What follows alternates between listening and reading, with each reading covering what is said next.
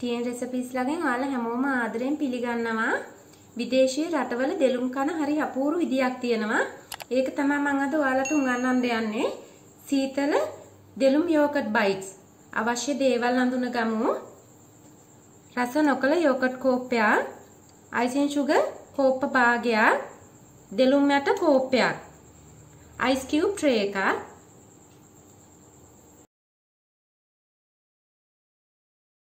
දැන් අපි හදන්න පටන් ගමු. මේ වගේ බෝල් එකකට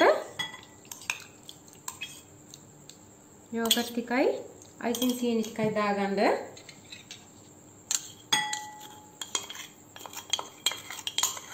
විනාඩි දෙකක් විතර ක්‍රීම් වෙනකම්ම ගහ ගන්න ඕන මේක. මේ ආකාරයට ක්‍රීම් එකක් එනතුරු ගහ ගන්න. ඊට පස්සේ ඔයාලා දෙලුම් ටික අරගෙන පරිස්සමට තලා ගන්නේ නැතුව මේකට කලවම් කරගන්න පරිස්සමට කරගන්න ඕන.